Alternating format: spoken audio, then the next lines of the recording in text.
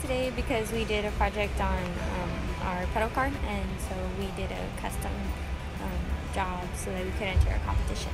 We decided that we would go with just a basic coat of black, and then we would custom our flame job, and then we had our firestone on it. It looks really nice, and even Sir was being a little extra, and he put that leather interior on it. Ours is really good, and we put a lot of work into it. Like every day, we were working on the car. We all worked together, and eventually came up with that idea. I'm really like appreciative of like South San because they always give us new opportunities. Now it's not just one competition, but we did this like back to back. We actually just finished yesterday. We actually put a lot of work into it. it took a lot of time, but we took our time and we got it done.